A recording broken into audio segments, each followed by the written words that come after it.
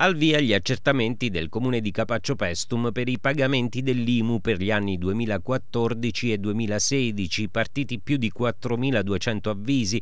L'ufficio tributi punta a recuperare oltre 3 milioni e 700 mila euro provenienti da omessi pagamenti. A seguito delle verifiche documentali sono emerse discordanze di natura tributaria idonee e sufficienti a dar luogo all'avvio del procedimento finalizzato alla verifica di quanto è emerso. Nei prossimi prossimi giorni si procederà all'invio degli atti di accertamento IMU annualità 2014 e 2016 a coloro che sono risultati non in regola con i pagamenti. Gli avvisi sono stati approvati con determina numero 24 del 12 dicembre 2019 e determina numero 25 del 20 dicembre 2019.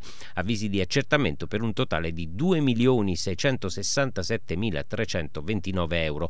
Una volta ricevuto l'avviso, il contribuente potrà pagare la sanzione entro 60 giorni, vedendola ridotta di un terzo della somma totale dovuta al comune. La sanzione è da pagare entro il 31 dicembre del quinto anno successivo a quello in cui la denuncia o il versamento sono stati o avrebbero dovuto essere effettuati. Inoltre il comune capaccese ha formulato anche un nuovo metodo di pagamento rateizzato fino a 72 rate possibili nell'ottica di agevolare in modo concreto i contribuenti in un momento di crisi come quello attuale. Per poter far uso della nuova modalità di rateizzazione il contribuente dovrà presentare una specifica istanza all'ufficio tributi.